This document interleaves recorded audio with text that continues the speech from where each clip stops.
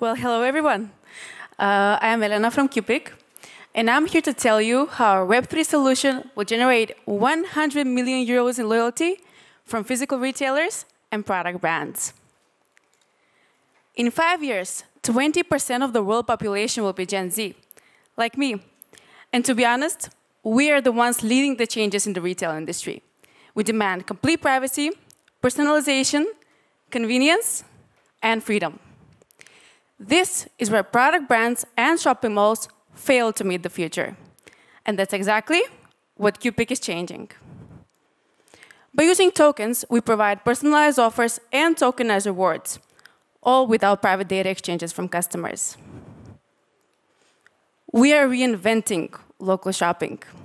Qpick helps you shop locally, earn rewards, and enable a real-time shopping connection. Think of it like local shopping but with a futuristic twist.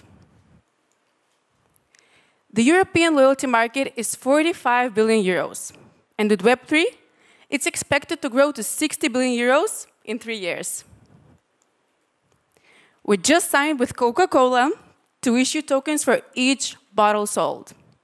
We also have two shopping malls on the multi-year subscription, and we plan to scale on transaction fees.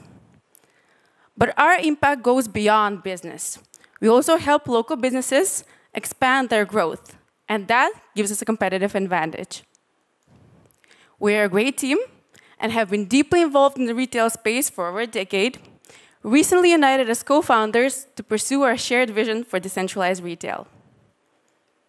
In 2024, we're linking two product brands and 10 shopping malls to generate 1 million in loyalty tokens.